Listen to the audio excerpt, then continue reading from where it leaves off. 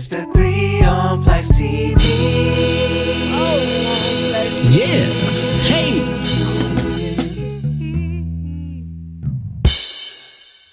What's good, YouTube? It's your boy Plax back with another episode of the three on Plax TV. I am back in the undisclosed location. As you could tell, um, I got my shirt untucked. I was told to untuck my shirt and when I'm here because it make me look a little fatter than I actually am. That's what I was told by friends. So uh, I untucked my shirt. Um, and today's video uh, for the three on Plax TV is my play my NBA play-in predictions. Uh, so let's get right into it. So first we got uh, Miami versus Atlanta, the seven versus the eight seed, and playoff Jimmy playoff Jimmy Butler is a very real thing. You know what I mean? Like he when the playoffs come around, Jimmy turns into his dad. and you know, you guys know what I'm talking about with that. But like Jimmy, he he definitely elevates his game during playoff time more than he would during the regular season. But at the same time, Trae Young is proven to be a killer in, in the postseason. Like as as Rick calls him, Ice Trader Gang. He he is definitely proven to be a killer in the postseason at times. But I, I gotta go with Miami here because I feel like in this situation specifically defense defense wins here because you know Atlanta at times could be a very great offensive team.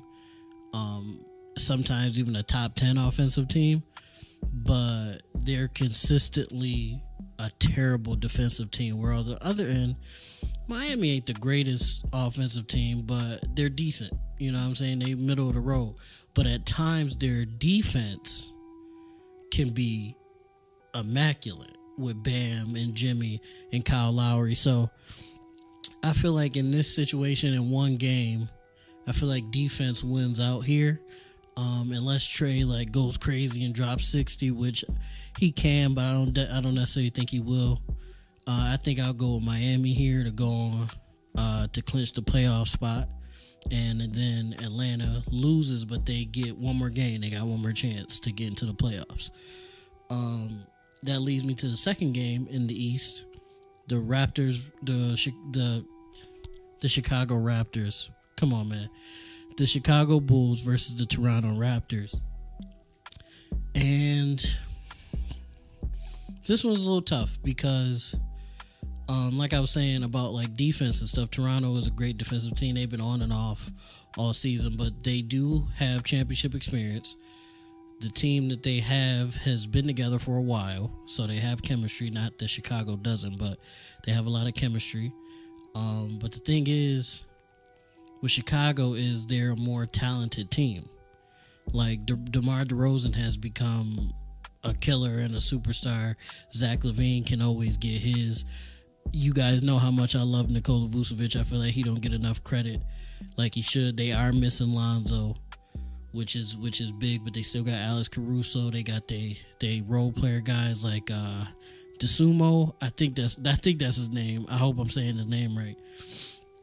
So like there and it's just one game. For this game specifically, I'm to say that talent wins this one game. And tentatively uh, this is tough. Tentatively, I'm gonna go with Chicago to win. Ugh, I don't know how I feel about that though.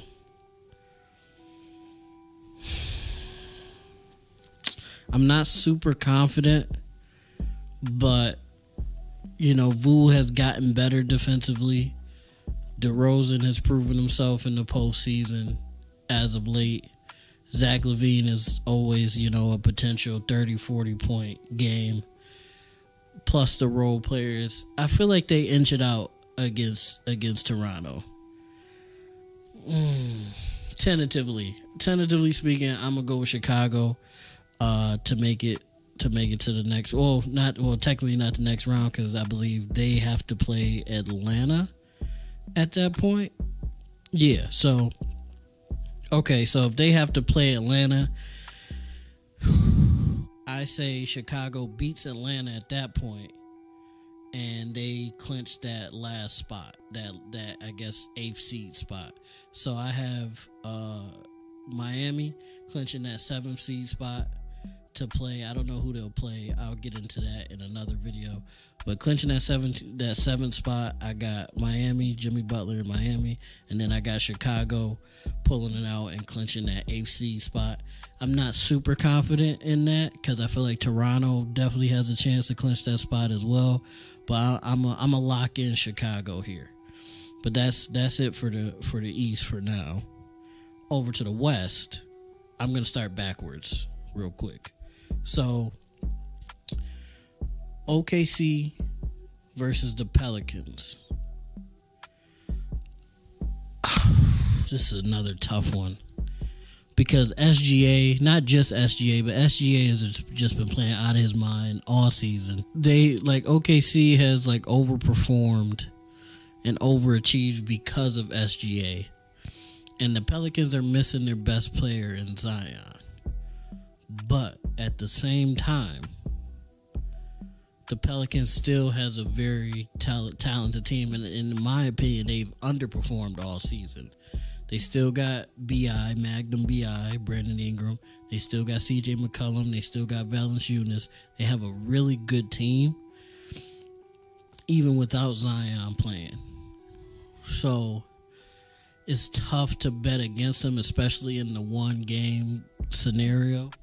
It's tough to like just count them out. But I really like OKC. I really like OKC. I love SGA.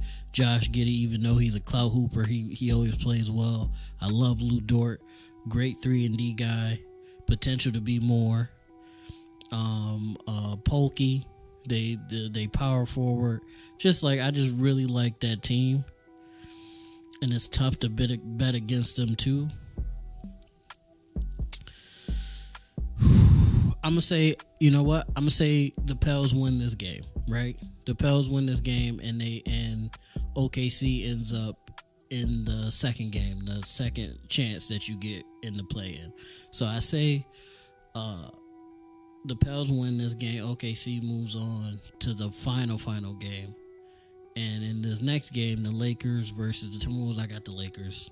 It's I don't really have too much to say about that. Besides, uh, the Lakers have been clicking a lot lately.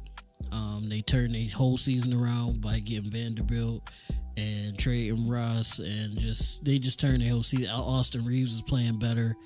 Um, AD seems like he's healthy. As long as he can stay healthy, they'll be fine. I see the Lakers clinching that seventh spot in the West. Again, I don't know who they'll be playing, but I will be getting into that in another video later on this week. Yeah, but I got the Lakers just beating the Timberwolves. I, I, I even think they could beat them decisively, to be completely honest.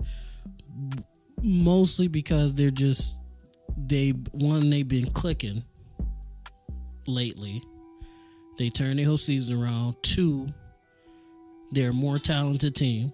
They're a way more talented team on paper. They got LeBron and AD first of all, and then they got Vanderbilt and Austin Reaves has been playing out his mind. D'Lo, I can't forget about D'Lo, and D'Lo's mad. That's another thing. D'Lo mad that Minnesota kind of treated him like that. So that's that's a whole other can of worms. And people like to downplay D'Angelo Russell, but that motherfucker's cold. He's he's cold. And he's he's big for the Lakers. I can't believe I I almost forgot about him when I was talking about this. And also on top of that, um, Rudy Gobert is a bum. I call him Rudy Go bum, and he just punched Kyle Anderson in the face on national television, and I think that's very bad. A very bad look for him. More of a bad look than he's already had, like his basically his whole career. Uh, he's just he's an overrated big, and he's getting paid way too much, way way too much for mediocre work. Um, but that'll be a separate video that I'll talk about. And for those who be like, well, Draymond punched Jordan Poole in the face. Yes, he did. And that was wrong as well. But at least that was in the confines of practice. Um, and if nobody leaked that video from practice, nobody would have known about it. Besides, like maybe a couple rumors here and there. But uh, Rudy Gobert punched his teammate in the face on national television. Um, and it's not like Rudy Gobert isn't as important to the Timberwolves as Draymond is to Golden State. I'll say that. I'll say that confidently because I call him Rudy Go Bum for a reason. That's and I'm gonna leave that at that. But I think the Lakers beat the Timberwolves, and uh, that third game for that last spot. So the Lakers go on and clinch that seventh spot, and that sets up the Timberwolves versus OKC. OKC beats the Timberwolves and gets that last spot. That's just. Oh wait, is that how that goes?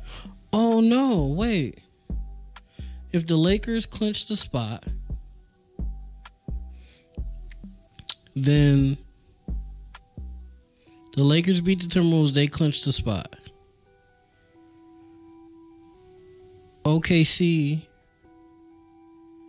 Oh, OKC would be out. Oh no.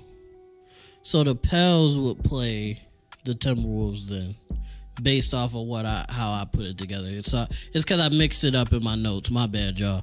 So the Pels would play uh, Minnesota, and I think the Pels beat Minnesota as well.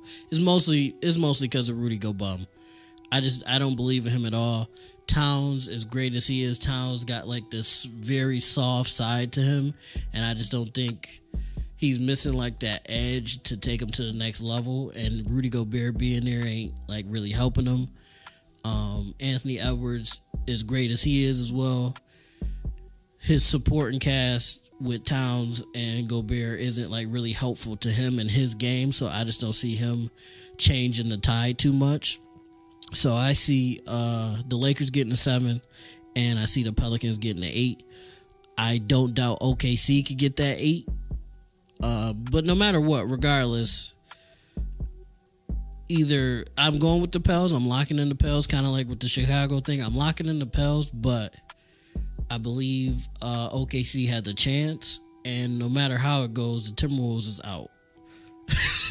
that's I guess that's my bottom line. The Lakers clinched at seven, and it's that other spot is between OKC and the Pels, basically.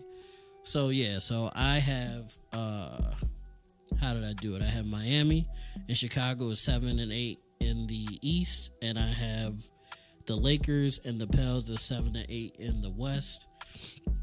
And I will be doing a separate video about once the plan is over about uh, my predictions for each uh, playoff series for both sides, the East and the West.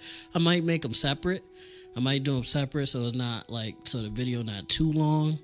Because this was just singular games, like a few games, and this is almost like 15 minutes. So maybe I'll do uh, Eastern Conference uh, playoff predictions, and I'll do just for the first round, uh, Eastern Conference first round playoff predictions, and a Western Conference uh, first round playoff predictions video, and I'll put them out at the same time or something like that. But y'all, let me know what y'all think. Um, did I? I feel like I, I confused myself a little bit. I think I mixed up like how they do it or something like that because I wrote my notes backwards towards the end. But uh, let me know what you think of my predictions. Uh, do you think I'm crazy? Do you think I'm going a little too hard on Rudy Gobert? um, uh, what do you think about the Lakers? Do you think the Lakers have a chance to go far? I do, depending on who they playing though. I don't know who they'll be playing. I have to look into that. Depending on who they playing, they could go far, uh, but I, I don't know. They have been clicking, and this new look Lakers team has been playing very well. So, and you can't really go wrong with LeBron James and Anthony Davis. It's just very touchy. You know what I'm saying? Oh, sorry. Let me rephrase. A healthy LeBron James and Anthony Davis, you can't go wrong with. But again, join the conversation. Let me know what you think of my predictions in the comments down below. Uh, make sure you check out uh, the other episodes of Three on Plax TV. I talk about a whole bunch of stuff. Uh, the, the NBA, the WNBA, college basketball, women's college basketball, men's college basketball. We talk about a lot of basketball here. Uh, but without further ado, uh, make sure you like, make sure you comment, make sure you subscribe, make sure you ding that notification bell so you know every time I drop a video. And most of all, YouTube, I love you guys. Peace. It's the three on Plax TV. Yeah. Hey.